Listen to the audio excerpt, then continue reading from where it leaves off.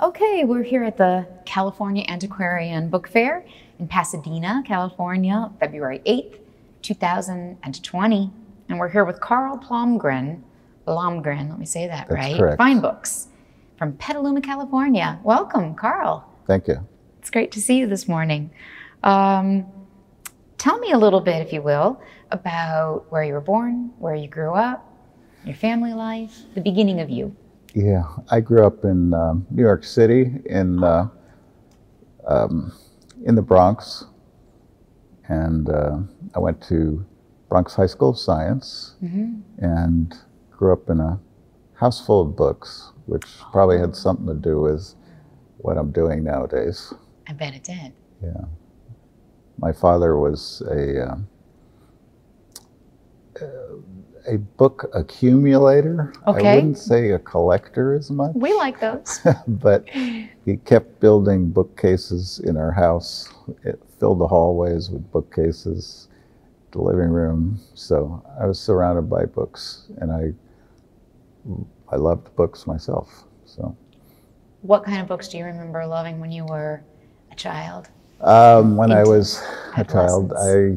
I read uh, voraciously. I read. Uh, I got into different things: science fiction, fantasy. Tolkien was a huge when I was in uh, junior high or middle school, depending where you are. But it was called junior high in New York City. Mm-hmm. And uh, my friends and I loved Tolkien. We were drafted up. We were going to make a little movie, and then I was going to be Tom Bombadil, but I was very disappointed when they made the uh, actual Tolkien movies. They left Tom Bombadil out of this, out of the They, movies. they should have consulted you. yeah, I could have told them. yeah. Oh, that sounds like a very colorful, evocative, um, literature-rich childhood. Did you? When did you go to school? Did you go to college? Did you carry I- that through, or? Um, yeah, so, I mean, as a child with, in New York with my dad, we visited a lot of bookstores because he was always loved books. So I got exposed to a lot of bookstores You saw the in downtown Manhattan. But then I went to college in uh, Southern California, here Okay. in Southern California. I went to University of Redlands, Okay. and um, Four.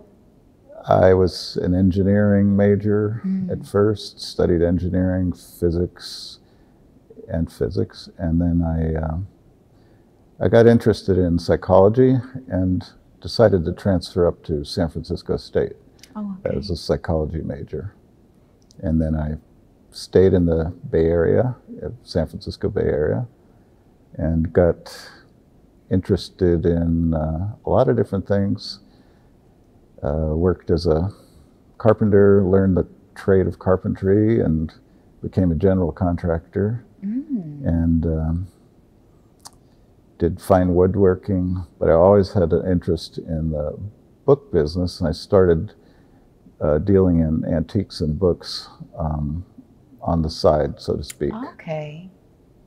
Remembering back to those days in New York, is that what was that what kept that interest, that vein through you, the passion for that? That just I think so. and the woodworking, seeing and having an appreciation for things that are made well? Um, yeah, you could say that. That's a good um, description. I enjoyed craft, fine craft, um, and books, fine books, illustrated books, particularly appealed to me. Do you remember some of the stores going back to the Manhattan childhood? You remember some of the stores that your father brought you around to? what a circuit you had to visit. What decade was Um, that? That was when I was very young. It was in the late 50s and then the early 60s. Wow, what an and era. I, um, I remember Gotham Book Mart, Mm. and I there were a bunch of, I think it was Fourth Avenue in New York had a, row of old bookstores. I, I don't remember any of the names. I guess Argosy was still was there then. Strand. Probably I then. just Yeah. wasn't uh, paying attention to the names then. Of course, you were you were a child just taking it all in. But the uh, bookstore that I do remember in uh, Yonkers, which is right north of the Bronx, Mhm. Yonkers. There was Alicat Bookshop. Oh, wow. So Alicat Bookshop, he was a publisher and uh, had his uh, a bookstore, and he also um, he published some poetry books, some kind of um,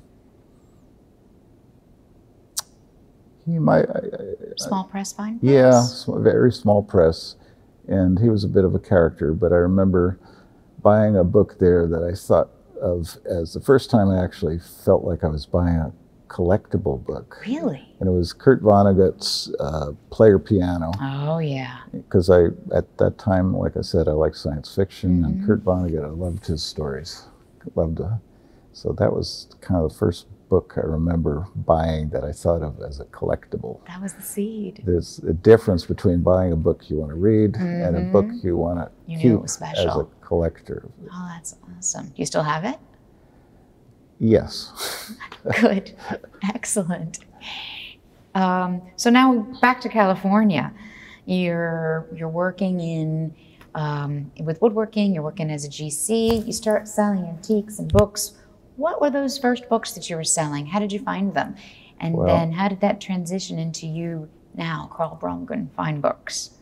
I was um, I was interested in illustration and I liked comic books too. Okay. So um, at that time, uh, I was friends with Bud Plant, Ken Sanders. We were all in the, in, we were all liked comic books, and we were actually probably the first fair I ever sold at was a comic book convention, Mm-hmm. and Bud Plant and Ken Sanders, also ABAA members, Mm-hmm. were um, we were young sellers of illustrated books and comic books because there was a crossover but Yeah. in the art world in the, for us and then gradually i got less interested in comics and more interested in the books but illustrated books were what really was what i started to specialize in Okay. And has that carried through to now? What what would you define now as your areas of specialization, your range?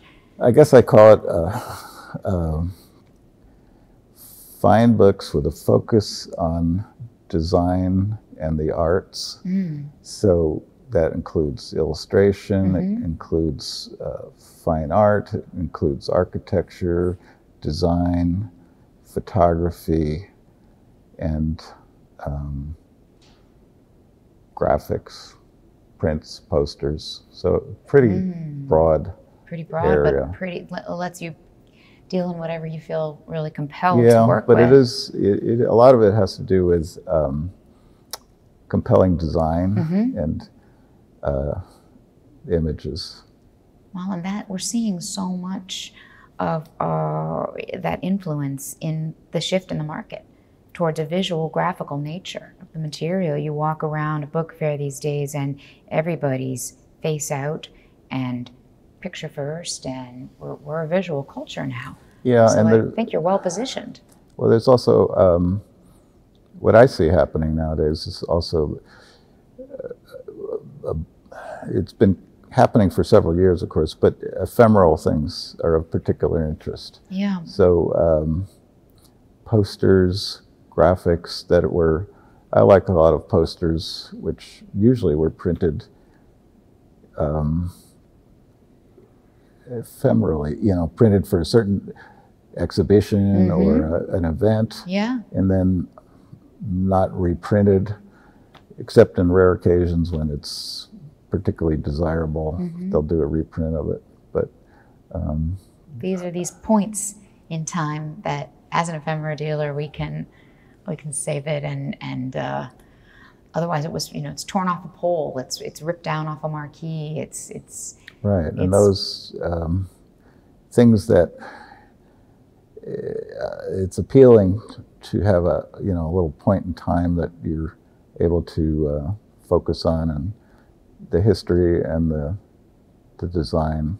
20th century primarily for you. Yeah, 20th century for sure. Modernism, postmodernism, uh, counterculture era. very and yeah, forward, or- a lot of counterculture, Okay. um, but I like you know um,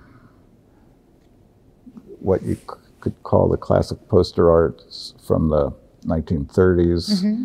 uh, the European artists, and even back to the real uh, poster revolution in the turn of the century. I've dealt in some of those uh, posters too. You know, the early like Toulouse-Lautrec and um, great artists like that, Mucha. Mucha, yeah, it's beautiful stuff.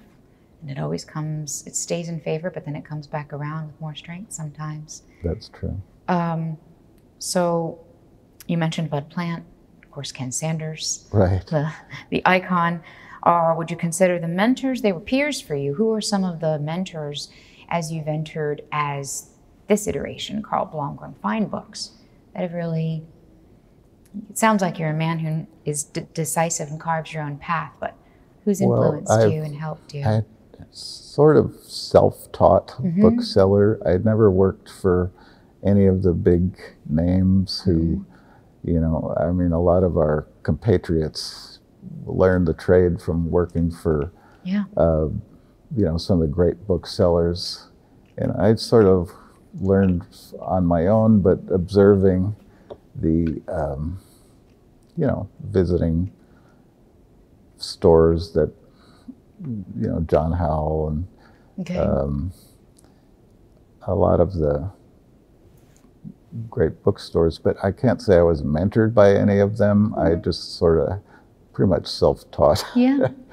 and saw what they did, and it all percolates in, and, yeah, and your voice comes out. Yeah, that's good. That's a good thing. And how do you let that voice uh, be known? Uh, you're doing fairs, you're here. Do you do any other fairs? You put out a catalog? Do you have an internet presence? How does Um, that voice reach? My business currently is on Abe, A-B-E, Mhm. and um, I list books there. I do this show, uh, you know, the California Book Fairs I've been doing now regularly for, I think, about 10 years, ever since I became a member. And I've done occasional other West Coast shows, Seattle. Mhm. Um, I, I do the Sacramento Book Fair regularly, which is a smaller book fair, but it's Yeah. really a fun uh, book fair in Sacramento Yeah. twice a year. The Jim Kay Show. Yeah, Yeah. and uh, I've delved into well now there's the rare LAX shows that Brad and Jen are doing. I, Yeah. I, I'll do those when I can, and used to do the shows that Bustamante would produce. Um, sometimes his book fairs, but I've always stayed on the West Coast. I haven't Okay. haven't ventured east. Do you find this visual material really needs to be seen in person? Uh, do you do you send out lists, but it does it? You know, how do you? Does it need to be seen? it Scale, seems to sell nature? best at shows for me. I mean, when I I list some visual stuff online, I uh, it doesn't it doesn't seem to move basically as well as if I take it to a show, people see it and um, fall in love with it, I guess.